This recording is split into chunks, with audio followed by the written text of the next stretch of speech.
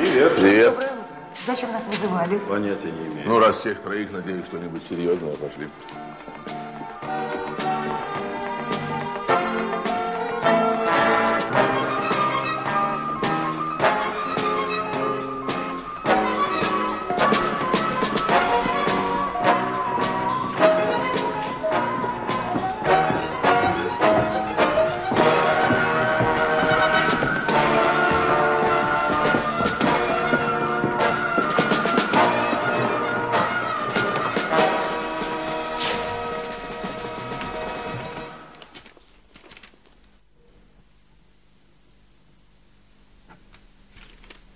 Это все? Все,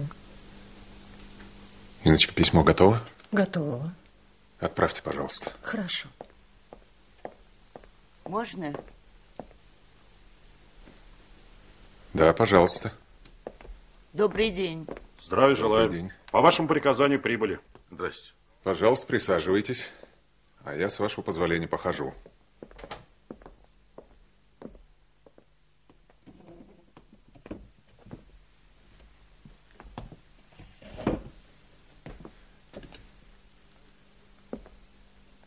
Сознайтесь, ждете сенсации. Надеемся на что-нибудь серьезное. Зинаида Яновна, у вас потолки когда-нибудь протекали? Три раза. Не вылезаю из ремонта. А у вас, Павел Павлович? Да, я на втором этаже, до нас как-то не дотекало. Так вот, пригласил я вас для того, чтобы побеседовать о жилищных условиях. Наших сотрудников? Да нет, задача принципиальная. Жилья у нас строится много, но как его потом содержат? Из рук вон. Как вы думаете? Только бесхозяйственность или хуже? Где бесхозяйственность, там обычно кто-то руки греет. Вот именно, вот именно. А между тем жилищных дел мы не вели, даже в архивах почти ничего нет. Да, что-то я не слыхала, чтобы ЖЭКами вообще кто-то занимался. Кроме юмористов. А инстанции завалены жалобами. Словом, решено, что пришло время заняться. Проверено заявление насчет одного из ЖЭКов, то бишь ДЭЗов. Они теперь переименованы ДЭС, Дирекция эксплуатации зданий. По линии БХСС с заявлением работал Фролов. Ревизия уже ведется, есть данные о хищениях. Павел Павлович, свяжитесь с ревизорами, они в районном отделении банка. И решайте вопрос о возбуждении уголовного дела. А в ДЭЗе о ревизии известно? Нет, считается, что просто проверяют расчетные счета жилищных хозяйств района.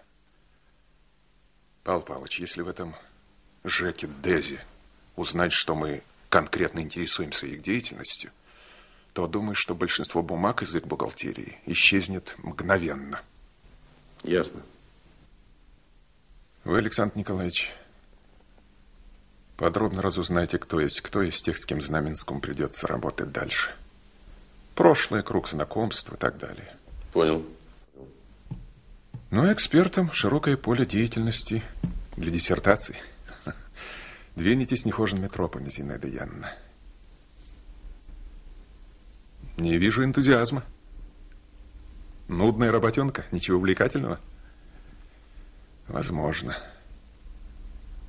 Но уясните себе социальный смысл задачи.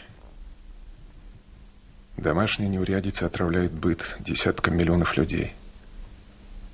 Речь идет не просто о рядовом хозяйственном деле. Если хотите, речь идет о престиже советской власти.